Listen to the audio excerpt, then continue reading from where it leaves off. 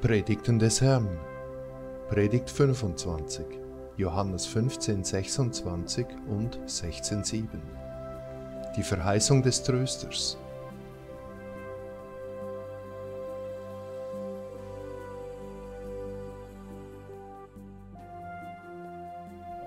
Wenn aber der Tröster kommen wird, welchen ich euch senden werde vom Vater, der Geist der Wahrheit, der vom Vater ausgeht, der wird zeugen von mir. Aber ich sage euch die Wahrheit, es ist euch gut, dass ich hingehe. Denn wenn ich nicht hingehe, so kommt der Tröster nicht zu euch. Wenn ich aber gehe, will ich ihn zu euch senden. So spricht der Herr. Dieser Vers findet sich in zwei Kapiteln des Evangeliums Johannes vor, und zwar im ersten als ein Versprechen, dass ich meinen verlassenen Jüngern den Tröster, den Geist der Wahrheit senden werde, welcher ihnen zeigen wird, dass alles wahr und richtig war, was ich sie lehrte. Und im zweiten als ein Hinweis, dass mein Hingang notwendig war, um das zu bekräftigen, was ich ihnen von mir und meiner göttlichen Sendung gesagt hatte. Denn in diesem zweiten Kapitel heißt es, wenn ich nicht hingehe, so kommt der Tröster nicht zu euch. Dadurch bewies ich ihnen, dass mein Hingang zum Vater, wie ich mich dort ausdrückte, teils als Schluss meiner Mission, teils auch als Anfangspunkt der ihrigen nach meinen Plänen, die ich zur Rettung der Menschen entworfen hatte, unumgänglich notwendig war. Wenn ein Meister seine Zöglinge verlässt, ehe sie ganz reif sind, um auch ohne ihn den Lehrkurs fortsetzen zu können, so ernennt er gewöhnlich einen Stellvertreter, der das Weitere ausführt, was zur Vollendung des Ganzen notwendig ist. So tat auch ich. Meine Mission auf Erden oder mein Verweilen unter meinen Jüngern war nur so lange von Nutzen, als sie noch nicht ganz in meine Lehre eingeweiht waren. Ich musste mein Dasein auf eurer Erde erst mit der größten Tat der Demütigung und der Liebe beschließen, was der praktische Teil meiner Lehre war. Ich musste meinen Jüngern durch die Tat zeigen, welche Opfer meine Lehre und deren Erhaltung verlangt, und ihnen gleichsam vorausgehend als ewiges Beispiel zeigen, was meine rechten Jünger auch zu ertragen imstande sein sollen, das heißt sogar ihr Leben für ihren Glauben zu lassen, welchem Schicksal später viele von ihnen erlagen.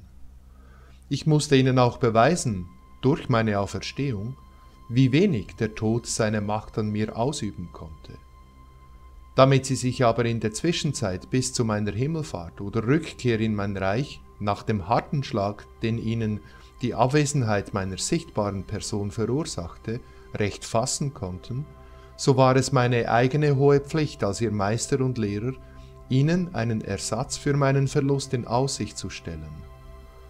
So versprach ich ihnen einen Tröster, den sie sich, als ich es ihnen sagte, wie auch später, als ich es wiederholte, eher als eine Persönlichkeit denn als eine Kraft dachten. Als ich ihnen diese Worte und manches andere sagte, waren sie noch zu sehr weltliche Menschen. Sie konnten den geistigen Sinn meiner Worte ja meiner letzten, größten und tiefsten Abschiedsworte nicht im geistigen Sinn verstehen. Deswegen sagte ich ihnen ja auch, ich hätte euch noch manches zu sagen, aber ihr könnt es nicht ertragen. Was mit anderen Worten sagen will, ich kann euch Geistiges nicht in weltliche Begriffe verwandeln.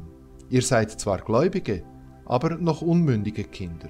Und es muss erst die letzte Weihe über euch kommen, die euch von Kindern zu Männern ausreift, damit ihr geeignet seid, das von mir Gehörte zu verstehen und es anderen so wiederzugeben, wie ihr es von mir empfangen habt.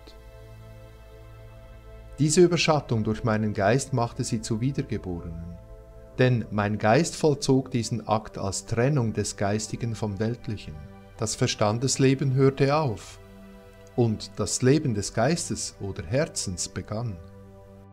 So waren denn meine Jünger ausgerüstet mit geistiger Willenskraft, zu reden und zu wirken, wie es meine Lehre erheischte, um so dem von mir begonnenen Erlösungswerk seine ewige Dauer zu sichern. Was in jenen Zeiten mit meinen Jüngern geschah, das hat sich in jedem Jahrhundert mit einzelnen, von mir dazu erwählten Männern erneuert. Nie mangelt es an solchen, mir ganz Ergebenen, die ihr Leben für ihre Überzeugung ließen. Immer gab es solche Mahner und Auffrischer meiner für die Menschheit so teuer bezahlten Lehre. Sie waren bestimmt, mitten unter dem groben Missbrauch, den man mit der Religion trieb, die Lehre des echten und wahren Glaubens nicht in Vergessenheit geraten zu lassen. Auch in eurem Jahrhundert mangelt es an solchen Begeisterten nicht, und jetzt, da die Menschheit sich noch mehr ins Weltliche verirrt, jetzt, wo sich das Ende dieser Prüfungsperiode für die Menschheit naht, vermehren sich auch die Anhänger meiner wahren Lehre, welche so zur Gründung meines Reiches die ersten Bausteine liefern sollen, damit ich schon bei meiner Ankunft gläubige Herzen vorfinde. Denn zum zweiten Mal will ich nicht tauben Ohren predigen, sondern die Dämmerung des Morgenrots muss da sein, und die geistigen Augen meiner Verehrer müssen schon vorbereitet sein, das ganze Licht meiner Liebe und meines Erscheinens ohne Schaden ertragen zu können. Wie ich in jenen Zeiten meinen Jüngern den Tröster versprach, welchen ich ihnen senden würde, so lasse ich auch jetzt in jedes fromme, mir ergebene Herz den wahren Trost einfließen, den nur meine Lehre, nur die wahre Religion und das wahre Glaubensbekenntnis geben kann, welches aus meinen Worten erhält. Jetzt ist der wahre Tröster in den Menschen gelegt. Er erwächst aus der richtigen Befolgung meiner beiden Liebesgesetze, wenn sie richtig aufgefasst, auch in diesem Sinne ausgeübt werden. Um mein Werk zu beschleunigen, habe ich mich herbeigelassen, durch direkte Mitteilungen alles klar auseinanderzusetzen, was den Menschen, wie meine Jünger einst sagten, zu hart oder zu unverständlich war. Jetzt, da meine Mitteilungen so reichlich fließen, bin ich eigentlich schon geistig auf eure Erde hinabgestiegen, lehre und führe meine Kinder tatsächlich wie einst. Es fehlt nur meine sichtbare Erscheinung, welche die Zweifelnden aber nur zum Glauben zwingen würde, was gegen die Freiheit des Menschen wäre. Jetzt wähle ich wieder meine Jünger, die die goldene Saat meiner Liebelehre aussäen sollen. Nur habe ich jetzt nicht mehr nötig, sie so zu führen wie einst. In jeder Zeit musste ich andere Mittel anwenden. Ich musste selbst kommen und ihnen das wirkliche Dasein Gottes durch meine Worte und Taten beweisen. Jetzt braucht es diese Gewaltmittel nicht mehr. Denn die Wissenschaft mit ihren Entdeckungen im Gebiete meiner Weltschöpfung hat den mit Geist und Herz beobachtenden Menschen Wege genug geöffnet, mich überall zu finden und mein wirkliches Dasein anzuerkennen. Der Glaubenslehre parallel läuft heutzutage die Lehre durch Überzeugung. Nur ein absichtlich blind sein Wollender wird das Dasein eines Gottes leugnen, welches doch in allen Ecken und Winkeln der Schöpfung unten und oben, ja selbst in des Menschen eigenen Herzen, trotz aller Gegenbeweise besteht. Nur ein solcher Mensch wird leugnen, dass es einen Gott, einen Gesetzgeber und, wie das hinterlassene Werk eure Bibel es euch lehrt, auch einen liebenden Vater gibt, der trotz Verehrungen und Ausschweifungen aller erdenklichen Art der Menschen stets Verzeihung statt Vergeltung, stets Geduld statt strengen Gerichtes übt und stets das Leben und nicht den Tod, den geistigen nämlich, verbreiten will. Deshalb ist auch euch jetzt der Tröster ins Herz gelegt, und ihr seid Herren eures Friedens und eurer Ruhe. Ich brauche euch denselben nicht mehr zu senden, da ihr ihn schon von mir empfangen habt.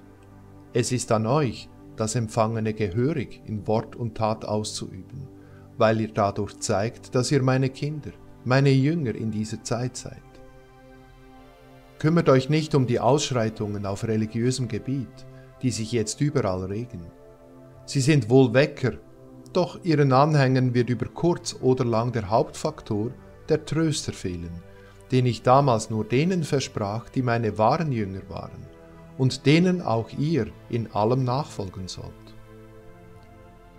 Es mögen noch so viele religiöse Lehrgebäude aufgebaut werden, Wer nicht zu meinem einfachen Hause zurückkehrt, in dem nur die Liebe, geleitet durch die Weisheit, allein thront, dem fehlt in schweren Augenblicken der Tröster überall.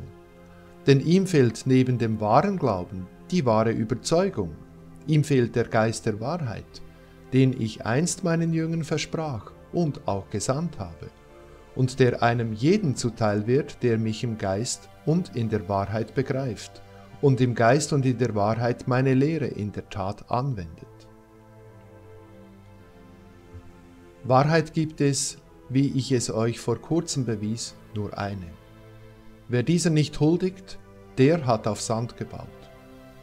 Kommen dann die großen weltlichen und geistigen Stürme, die zur Reinigung des Geistseelenwesens auf dieser Erde stattfinden müssen, so wird solch ein Haus auf flüchtigen Weisheits- oder Verstandessand gebaut, samt seiner Unterlage spurlos verschwinden, als wäre es nie dagewesen. Nur dasjenige Gebäude wird feststehen, allen Stürmen trotzen und sich als einzige Wahrheit, als einziger fester Grundbau erweisen, welches auf mein Wort, auf das Wort des Gottes und Schöpfers des ganzen Universums gebaut ist. Denn was ein Gott sprach und mit solchen Opfern seinem ganzen Geisterreich auch durch die Tat bewies, wie ich auf eurer Erde, das kann nicht trügen, kann nicht täuschen. Die Getäuschten sind diejenigen, welche allen Mahnungen und Rufen aus der Sicht und unsichtbaren Natur ihre Ohren verschließen, den Tröster in ihrem Verstandesleben suchen, während er nur allein im Herzen zu finden ist. Daher bedenkt jene Worte, die gerade in diesen Kapiteln 15, 16 und 17 stehen und die ich einst zu meinen Jüngern gesagt habe.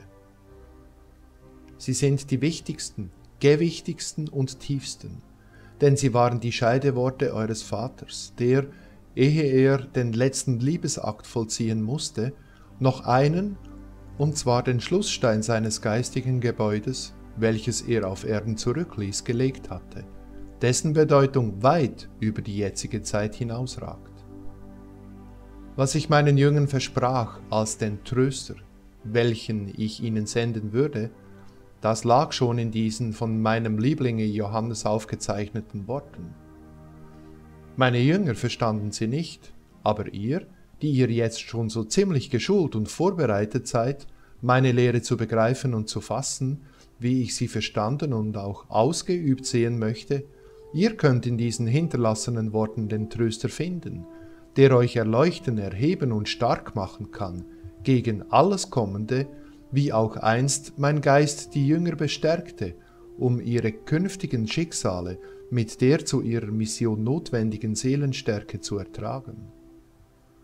Euch erwachsen zwar solche bitteren Momente nicht, wie einst meinen Jüngern bei ihrem Lehramt, aber desto mehr habt ihr zu kämpfen mit der Welt, mit ihren Annehmlichkeiten, mit euren Mitmenschen, von denen die Mehrzahl nicht den Weg, den ihr geht, sondern gerade den Verkehrten eingeschlagen hat.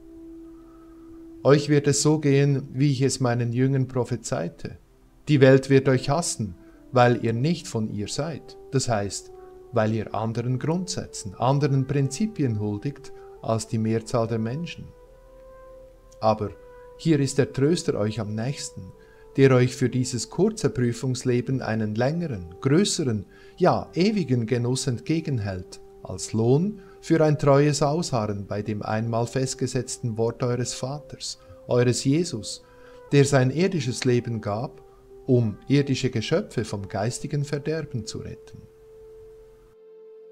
Daher sei auch euch das der beste Trost, den ich jedem nach jeder vollbrachten guten Tat ins Herz lege, dass die beste Belohnung und die beste Beruhigung meinen Lehren, meinen Worten gefolgt zu sein, welche am Ende doch, trotz alles Weltglanzes und aller Weltmacht, die letzten Stützen sein werden, welche den Kämpfenden als Rettungspfeiler im großen Ozean der Weltereignisse bleiben werden. Verlasst daher den Tröster in eurem Herzen nicht, und der, welcher diesen Tröster in euer Herz legte, wird euch nicht verlassen. Das versichert euch der, welcher schon so viel himmlisches Brot, so viel geistigen Segen und so viel wahren Trost über eure Häupter ausgeschüttet hat. Amen.